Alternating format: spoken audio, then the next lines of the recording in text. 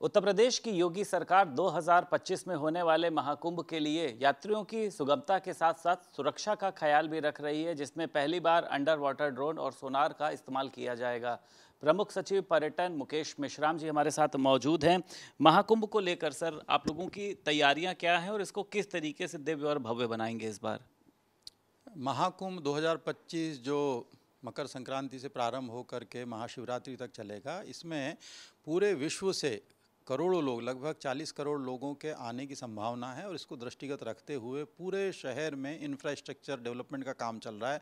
सड़कों का काम चल रहा है, चौराहों का काम चल रहा है। इसके अलावा पूरे शहर को सौंदर्यीकरण करके बहुत ही बेहतर तरीके से हम लोग प्रस्तुत करने जा रहे हैं। घाटों के किनारे बहुत सारे काम हो रहे हैं।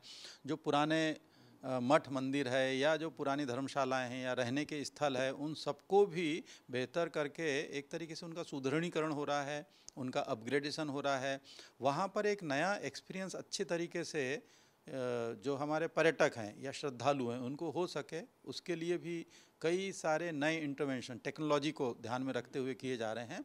और डिजिटल कुंभ का एक कंसेप्ट लेकर के हम चल रहे हैं कि पूरे कुंभ की कंसेप्ट को कैसे आदमियों को मतलब जो भी लोग वहाँ पे उपस्थित होंगे उनको समझाया जा सके। संस्कृति ग्राम वहाँ पर स्थापित किया जाएगा। संस्कृति ग्राम में देश विदेश के कलाकारों के द्वारा प्रस्तुतियाँ दी जाएगी। आ, साथ ही साथ वहाँ पे पूरे उत्तर प्रदेश और देश के अन्य स्थलों का भोजन कुजिन उसको ये आ, भी लोगों को स्वाद लेने का मौका मिलेगा। और कई सारे कार्यक्रम जो हमारे आ, सांस्कृतिक कलाकार हैं। धरोहर के रूप में वहाँ पर प्रस्तुत करेंगे। उसमें शास्त्रीय गायन से लेकर के शास्त्रीय नृत्य और भी जो रामलीलाएँ हैं, रासलीलाएँ हैं, कई तरीके के इसमें क्षेत्रीय जो सांस्कृतिक केंद्र हैं, उनको भी हम लोग सम्मिलित करने जा रहे हैं। फिर टेंट सिटी, जो फाइव स्टार स्तर की टेंट सिटी हम लोग लगाएँगे और उसकी बुकिंग का काम अभी से प्रारंभ हो चुका है। यूपी टूरिज़्म डेवलपमेंट कॉरपोरेशन इस काम में लगा हुआ है। उनने अपनी वेबसाइट है और उसमें भी एक तो ध्यान ही रखा गया है कि ग्रीन कुंभ को भी कंसेप्ट में ध्यान में रखते हुए चले तो किसी तरीके का पॉलीथीन इस्तेमाल ना हो, किसी तरीके के और अन्य ऐसे रासायनिक पदार्थों का उपयोग न करें, जो किसी न किसी तरीके से पर्यावरण को क्षति पहुंचाते हैं। तो ये जो टेंट सिटी है, जितनी आवश्यकता होगी, उतने हम टेंट सिटी और भी वहाँ पे बढ़ा सकेंगे, इसका प्राविधान किया गया है। फिर प्रत्येक दिन जो है योग हो वहाँ से पैकेजेस अगर लोगों को जैसे प्रयागराज आते हैं, वहाँ से उनको विंध्यवासिनी मंदिर बहुत बढ़िया कॉरिडोर बना हुआ है, मिर्ज़ापुर वहाँ जाना है, वाराणसी जाना है, अयोध्या जाना है। तो जो वाराणसी, अयोध्या और प्रयागराज तीनों को हमने जो है स्पिरिचुअल ट्राइंगल का नाम दिया हुआ है। एक तरीके से आध्यात्मिक त्रिकोण है यह। जहाँ पर कोई भी आदमी अगर यहाँ आएगा तो वो अयोध्या जाएगा, अयोध्या आएगा तो यहाँ आएगा, वाराणसी जाएगा। और तीनों की जो सड़कें हैं, वो फोर लेन से बहुत अच्छी तरीके से जुड़ चुकी है। वहाँ संगम पर हमने हेलीपोर्ट बनाया है और वो हेलीकॉप्टर सर्विस से वो पूरा जुड़ चुका है। तो किसी को भी अगर कहीं से भी आना, मान मथुरा से आना है तो सीधे हेलीकॉप्टर से आ सकता है, अयोध्या से आ सकता है, वाराणसी से, और किसी भी और अन्य स्थल से सीधा संगम पे पहुंचेगा तो शहर के भी किसी ट्रैफ़िक में उसको जूझने की ज़रूरत नहीं है।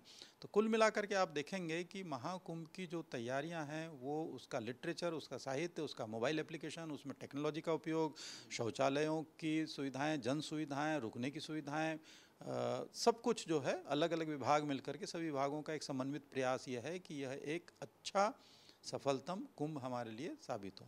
सर प्रभु श्री राम का मंदिर बनने के बाद मुझे लगता है धार्मिक डेस्टिनेशन बन गया है अयोध्या सर। छः महीने में ग्यारह करोड़ से ज़्यादा देशी विदेशी लोगों का पहुँचना सभी को पता है। अब इनको रुकने के लिए सर ये भी था कि अब अयोध्या में जो है वो होटल विकसित किए जाएँगे। तो कैसे होटल विकसित होंगे इनकी संख्या सर क्या रहेगी? देखिए अब चूँकि अयोध्या एक विश्व स्तरीय आध्यात्मिक नगरी के रूप में स्थापित हो चुकी है बहुत भारी संख्या में पर्यटक वहाँ पे पहुँच रहे हैं आ रहे हैं। इंटरनेशनल एयरपोर्ट वहाँ पे बन चुका है सड़कें चौड़ी हो रही है पंचकोशी चौदह कोसी परिक्रमा मार्गों को सुव्यवस्थित किया जा रहा है चौड़ा किया जा रहा है और साथ ही साथ जो है वहाँ पे रुकने की सुविधाओं के रूप में भी 214 से अधिक हमारे यहाँ पर आ, होटल गेस्ट हाउस डॉर्मेट्रीज लोग रजिस्टर्ड करा चुके हैं। तो ये जो पर्यटन इकाइयाँ या पर्यटन से जुड़ी हुई इकाइयाँ हैं, इसमें बहुत सारे amusement park guest house five star hotels four star three star hotels और कई और अन्य सुविधाएँ वहाँ पे धीरे धीरे विकसित की जा रही है। पार्किंग की बहुत बढ़िया सुविधाएँ वहाँ पे मल्टी लेवल पार्किंग के रूप में विकसित हो चुकी है। छः जो सड़कें अयोध्या की तरफ़ जा रही है, वहाँ पे गेट कॉम्प्लेक्स हम बनाने जा रहे हैं और उन गेट कॉम्प्लेक्स में भी रहने की सुविधा, वहाँ पे भोजन की सुविधा, सात्विक भोजन, वहाँ पे पार्किंग सुविधा, वहाँ पे स्वास्थ्य लाभ की सुविधा सोवेनियर शॉप्स भी होंगी क्राफ्ट विलेज भी होगा वहाँ पर कल्चरल एक्टिविटीज़ का भी वो एक हब होगा। तो ये भी हम लोग क्रिएट कर रहे हैं और ये समझ लीजिए कि जो ये होटल्स हैं, बहुत सारे होटल्स जो है निर्मित होने प्रारंभ हो चुके हैं। वो लेंगे, कोई एक साल लेगा, दो साल लेगा, क्योंकि उसमें बनना है, उसके अंदर इंटीरियर होना है, उसके अंदर सारी सुविधाएँ देनी है और इसी को ध्यान में रखते हुए हमने गोरखपुर में स्टेट का इंस्टीट्यूट ऑफ़ होटल मैनेजमेंट भी स्थापित हो रहा है। उसका कंस्ट्रक्शन का काम भी चल रहा है। क्योंकि जब होटल्स बनेंगे तो उसमें मैन पावर की ज़रूरत पड़ेगी। एक होटल मैनेजमेंट इंस्टीट्यूट यहाँ लखनऊ में भी है।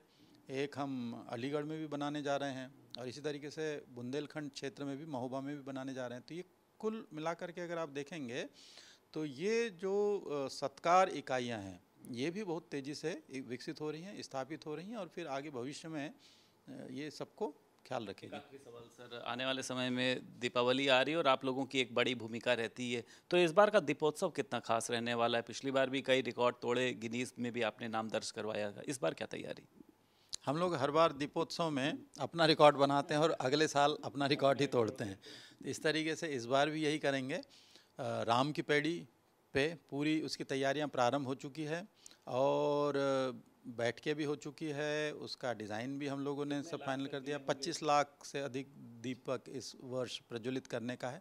हमारे दिए पारंपरिक दिए होते हैं मिट्टी के बने हुए होते हैं सरसों के तेल में जलाए जाते हैं बातियाँ वही रुई की होती है और इसमें जो विश्वविद्यालय है अयोध्या का वहाँ के बच्चे वॉल्टियर्स के तौर पर लगते हैं। करीब तीस हज़ार से अधिक विद्यार्थी इसमें लगेंगे जो बहुत मेहनत करते हैं और कुल मिलाकर के समझ लीजिए कि ये समन्वित प्रयास रहता है सभी का मिल करके कि दीपोत्सव को यादगार पर एक ऐसी स्मृति बनाएँ जो लोगों ने, जिन्होंने वहाँ अपनी उपस्थिति दर्ज कराई है, वो जीवन पर्यंत उसको याद रख सकें।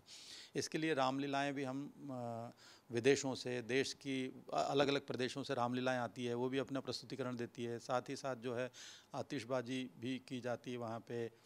और शोभा यात्रा निकाली जाती है, सभी चौराहों को सजाया जाता है। तो एक तरीके से अयोध्या का दीपोत्सव जो भगवान श्री रामचंद्र जी सीता जी और लक्ष्मण जी के आगमन का एक बहुत ही बड़ा स्वागत पर्व के रूप में मनाया जाता है, वो इस बार भी बहुत अच्छा होने वाला है। बहुत शुक्रिया बात करने के लिए। हमारे साथ मुकेश मिश्राम मौजूद थे और साफ़ तौर पर उनका कहना यह है कि इस बार भी अयोध्या में 25 लाख से ज़्यादा दियों को हम जलाकर अपना ही रिकॉर्ड तोड़ेंगे।